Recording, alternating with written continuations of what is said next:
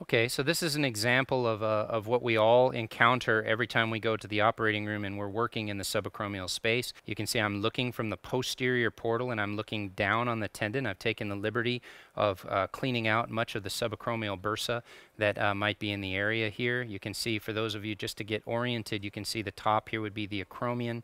You can see the uh, CA ligament going off into the distance, marking the very front of our space and uh, of course the deltoid fascia that we've come through here. Now if I turn my eyes down you can see the, uh, the entire distance of the cuff. You can see all the way up front here if I wanted to get into the subdeltoid space we would open that up for biceps tenodesis etc. You can see the lateral gutter here which we want to have exposed out so that we have plenty of room uh, when we're doing uh, things like cuff repair etc.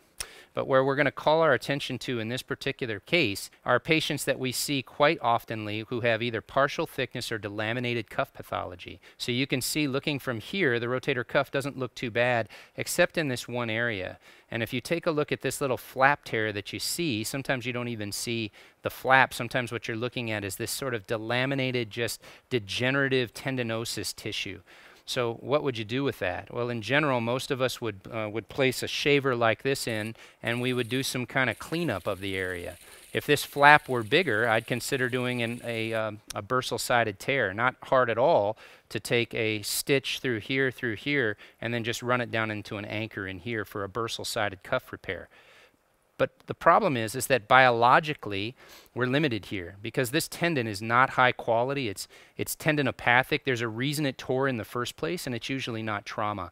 So the AmnionXpress will allow us to deliver a streamer directly into this area to put the growth factors that are present in the streamer directly in line and exactly where you want uh, growth factors to be. So we're going to demonstrate that. Once we've come up with the idea, it's very important that we uh, use a spinal needle to localize where we want to come in from. We'd like this to be a straight shot. So in this particular case, I'm coming in just a little bit lower uh, down and you can see that it, uh, from a little bit lower down I can get right into the spot that I want to deliver this uh, streamer directly into the uh, partial thickness tear. So I'm pleased with that and I'll make a small uh, incision on the shoulder uh, with a portal and uh, so now that we've done that, now we're ready for insertion. The insertion process is, is incredibly easy and familiar to, uh, to surgeons because we do this every day. You have a, what essentially amounts to a large spinal needle in the area. And you can see if I give you a, a, a tour, a little peer directly down, remember where we set the device, we set the device such that it would sit just proximal to the slot. You can see the amnion streamer, which has already been loaded. You can see it down there in the depths. And that's because our thumb slide is advanced to the second portion uh, right where it's supposed to be. You can also see on this that I can bring this guy in and we can demonstrate really well the entire length of the amnion inserter and it allows me to show you or determine how far I want this depth to go.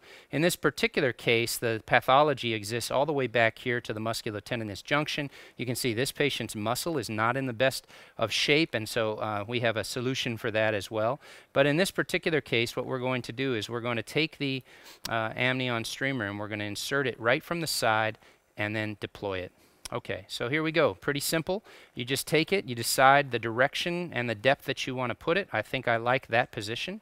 I'm going to now deliver this by inserting the, um, the AmnionXpress device into where I want it to be. It's now right within the tendon itself and that tendinopathic tissue. Once I'm in this position, I simply slide up I can see that last laser defined marker and what I'm going to do is I'm going to insert the device all the way up to the second and now all the way hubbed into the tissue. Once I've done that, I simply slide my insert inserter back. I keep my thumb, for me, on the uh, amnion fork-tipped inserter so that the amnion is stayed. And then once I get back to this particular position, then I just simply withdraw the tip inserter. It's a beautiful view of the inserter right there. That's what captures the amnion. It's also what kind of forces the delivery. And then without any difficulty at all, I simply slide that in the sheath and remove it. And that's it. That's all it takes to insert that set of growth factors into the area of concern. Now you can say, well, maybe I'm concerned enough about this flap tear that I would want to actually stick a stitch in this and repair it. Well, no problem. Your amnion is within the tear, it's beautiful and stable, and you could simply insert a scorpion device and grab here, maybe a simple stitch, or maybe if it's larger, you can just do a simple uh, mattress stitch on this bursal sided tear. You simply take the mattress uh, portion, dunk it into a hole here, and now you have an augmented biologic solution to rotator cuff debridement, rotator cuff tendinopathy, or in bigger cases, rotator cuff uh, repair. The nice thing about it is, is that there is no effect on rehab. However you would normally at, uh, uh, rehab your rotator cuff, you can be 100% uh, assured because the tissue is inserted. It's not laid on. So some of the products and devices out there actually lay something on top of the cuff. And while uh, um, that is a, a, reasonable choice for certain pathologies, one of the beauties of the AmnionXpress is that this pathology is inserted within the damaged tendon, so it's protected by it. I think that if, especially if you have articular sided tears or interstitial tears, it's a little bit of a jump to understand or accept that something placed on top of the cuff gets gets, gets and treats the pathology that we know lives intratendinously and, and especially on the other side of the tendon.